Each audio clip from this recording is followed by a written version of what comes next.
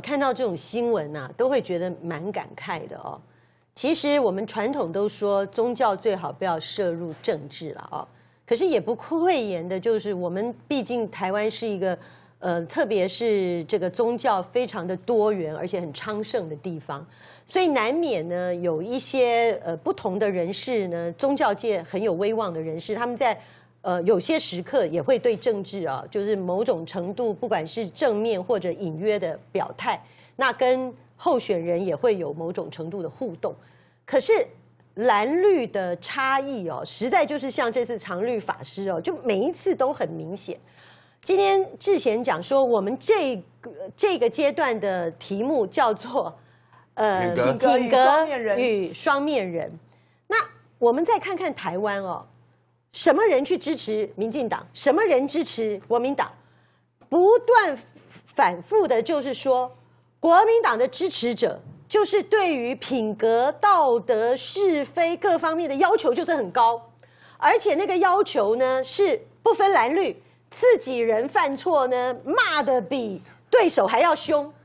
可是呢，碰到民进党的支持者呢，就是不分是非，只问立场，只要是挺他绿营的，做了再再作奸犯科之辈呢，全部先力挺，不分青红皂白先挺。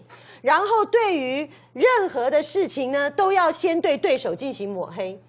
一个出家人，本来你就算你在政治上想要表态，你想要支持绿营的这个候选人，你也不需要是非不分嘛，也不需要不是讲出家人不打诳语吗？那你怎么可以造假呢？怎么可以说谎呢？结果马英九因为是蓝营的总统嘛，总是会觉得说啊。这不分蓝绿嘛？那你大家愿意来，他都很愿意见。结果一不见了还没事，一见了呢惹祸上身，没有讲的话都硬塞到他的嘴巴，还在选举的时候惹出这种风波。那这样子的事情真的是让人觉得很感慨。为什么？我觉得选民真的要想得很清楚哈。为什么什么事情只要沾到绿营哦，就是平常。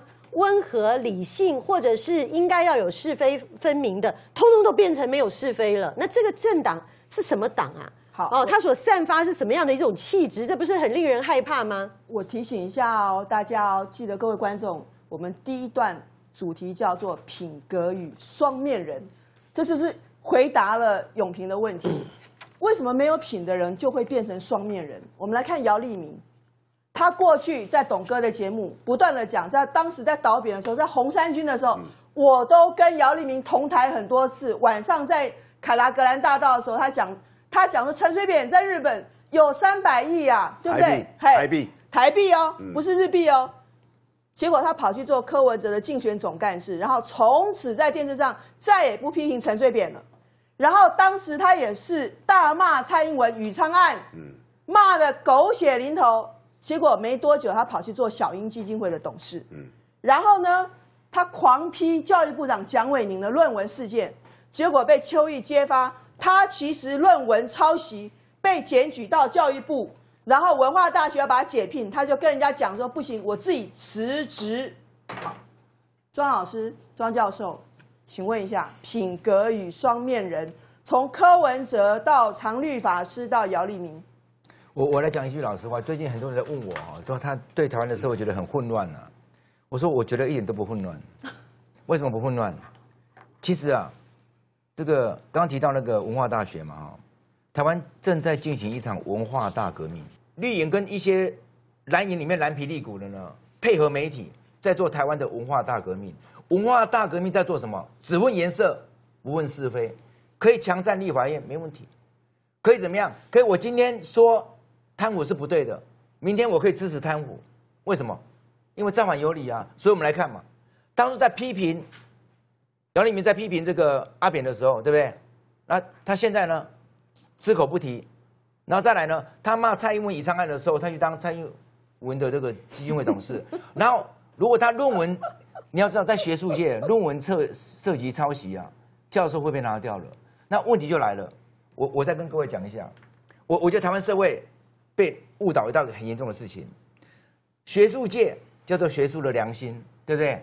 政治界叫做政客，政客，你今天说贪污是对的，明天说贪污是不对的，随便你讲，因为你是政客，我们都接受了。你今天领十八趴，明天骂同时骂十八趴，我们也没意见。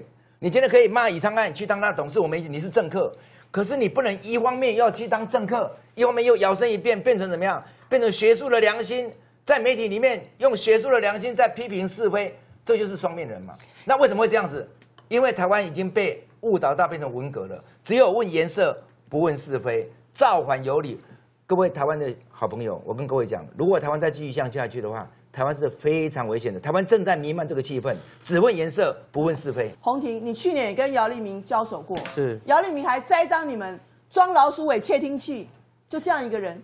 所以我常常想哦，就是说，其实我们自己私底下常常开玩笑啊，说这现在啊，外界啊是用这个显微镜在看所谓蓝营的人哦，用放大镜在看所谓民进党，这个倍数哦，可能差了一百倍以上。但我们还要去思考一件事情，就是说，一政治人物跟在台湾就是行使这所谓的这个公众权益哦，会去做这些公众服务的这些人哦，他代表的其实是整个社会的这个价值。所以我们要检视他的时候，就像我们刚才讲，为什么节目上要去看姚立明从头到尾去做这样子的一个部分？其实我我想跟观众朋友提到，就是说，这些人很明显的，因为心中有所谓的仇恨，或者说你们现在可以看到有很多立场转移的人，他过去可能是因为利益的分配的不足，或者说立场的这样的一个转变。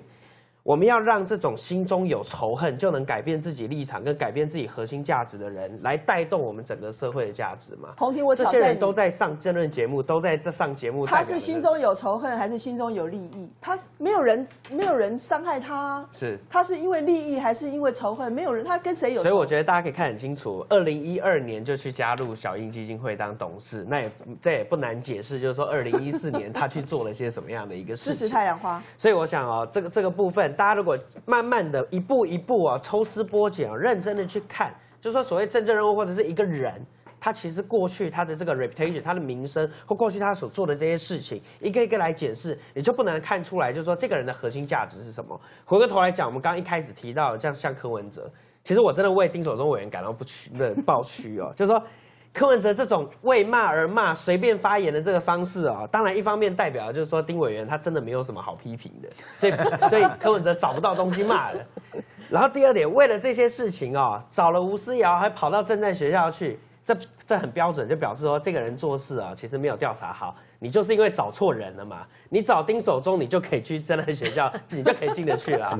那这样子的一个过程，你会看到他过去为了批评、为了反对而反对，所以到现在一年了没有建树。所以我们要用仇恨来带动这个价值，还是真正的去看这些人所做的这个一件一件事情，去检视他的所作所为，来定义他们这样未来这些政治人物的存在？我觉得这非常重要。